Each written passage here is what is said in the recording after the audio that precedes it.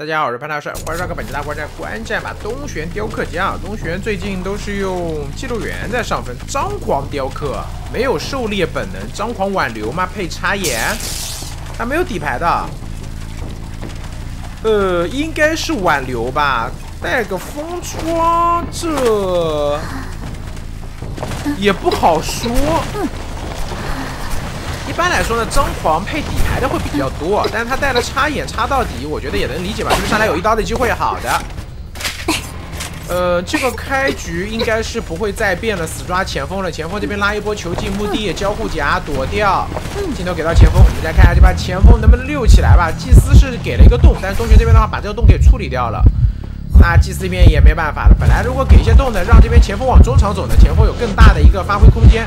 因为在这个墓地里面，确实这个点位的一个牵制力是蛮强的，但是呢，它也就在这个点了。你想要拉点转点，其实其实比较困难的。因为从墓地出去的话，进的是红毯，你要进教堂，其实你这波球就差不多拉干净了。拉干净了这个词啊，不太用的，不太好。呃，没关系，就这么个意思啊。看一下这边后续吧，前锋手里面的话还有球。其实这边教堂刚才我们看到祭司应该是有洞的。如果说前锋能够去考虑穿洞的话，我觉得牵制时间更久。但是你往真的往中场走呢，有一个什么问题，就是可能会干扰队友密码机。这把的话，前锋该牵制的我觉得已经做到了。雕刻家这里的话没有闪现，其实你这一刀还真不，一定补得上。但夹中嘛，那就是他雕像用的好了。可以可以，我觉得这把抓前锋两边都能接受吧。一来呢，你抓了个前锋，球人这边少一个搏命；二来呢，也不会被人打架。对于球人来讲呢，毕竟前锋牵制对吧？牵制的时间也够。如果其他人牵制的话，比如说祭司，比如说这边囚徒，可能没有能够牵制这么久的时间的。这的话，古董商带搏命的过来，嗯，拖一轮。毕竟这个雕刻家他现在没到二阶，所以。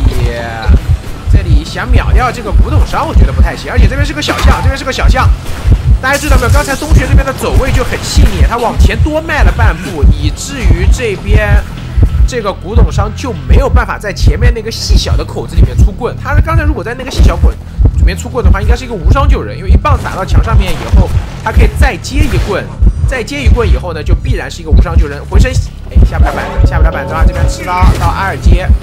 我觉得没有搏命的话，其实是可以考虑卖掉这个前锋的，再来救意义不是特别大，不一定救得下来。没，就算救下来，你金子也不够，对吧？你保不活这个前锋，万一把自己折进去，就是挂飞一个再挂一个。所以我觉得会卖掉会更好一点。这前锋球也交掉了，你牵制的不错，对吧？后续的话就靠我们了。祭司这边的话给一些压力，我觉得是可以的。祭司这边打动过来给一些正面的压力是可以的，就给你个耳鸣，假装我要救人，让你这边没有太多的时间去管理我的队友。但真的要来救嘛？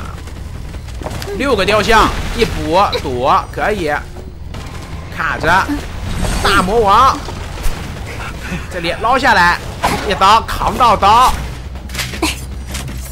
七十六。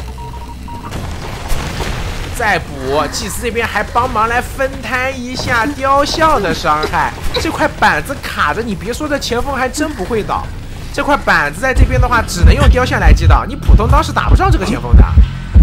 这边的话祭司是打了一个洞，但这个洞效果不是特别好，密码器点亮了，好吧，艺高人胆大。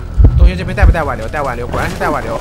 但是由于这边没有底牌。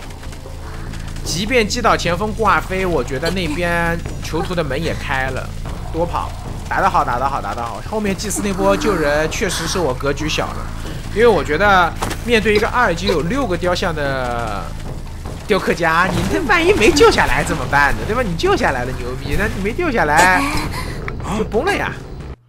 好好好，艺高人胆大，这种就是对吧？人不轻狂枉少年，这些年轻选手真的是敢打敢拼，感谢我们下期再见，拜拜。